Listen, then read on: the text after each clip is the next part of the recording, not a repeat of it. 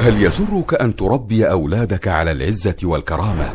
فافتح لهم نافذة على التاريخ الإسلامي المجيد. لا سيما عصر الصحابة وعلمهم وأخبارهم وأمجادهم.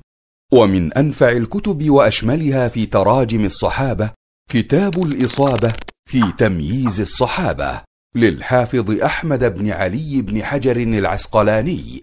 وسبب تأليف ابن حجر للإصابة أن من سبقه ممن ألفوا في تراجم الصحابة وقعوا في أحد أمرين إما عدم استيعاب أسماء الصحابة وإما خلطهم بغيرهم دون تمييز. فألف ابن حجر هذا الكتاب ليجمع ما استطاع من أسماء الصحابة مع تمييزهم عن غيرهم.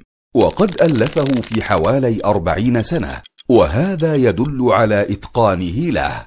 قال ابن حجر انتهت كتابتي مع ما في الهوامش في ثالث ذي الحجة عام سبعة وأربعين وثمانمائة وكان الابتداء في جمعه في سنة تسع وثمانمائة فقارب الأربعين والسبب في ذلك أنه كان ينقح الكتاب ويهذبه ويزيد فيه مع انشغاله بالقضاء.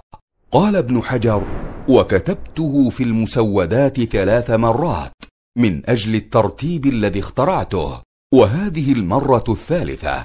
وقد خرجت النسخة مسودة أيضا لكثرة الإلحاق. ويعتبر كتاب الإصابة في تمييز الصحابة أهم كتاب ألف في تراجم الصحابة وذلك لأسباب. فهو أجمع الكتب المؤلفة في أسماء الصحابة فقد استوعب ابن حجر جميع أسماء الصحابة الواردين في مؤلفات من سبقوه وكثيرا من أخبارهم وأحوالهم. ولذا اشتمل الكتاب على اثنتي عشرة الفا وأربعمائة وست وأربعين ترجمة. وكان ابن حجر يستدرك على من قبله ممن سبقوه بالتأليف في تراجم الصحابة ويصوب ما وقعوا فيه من أخطاء وأوهام. احتوى هذا الكتاب على قدر كبير من الأحاديث مع بيان طرقها والحكم عليها في كثير من الأحيان مما يزيد من قيمة الكتاب العلمية.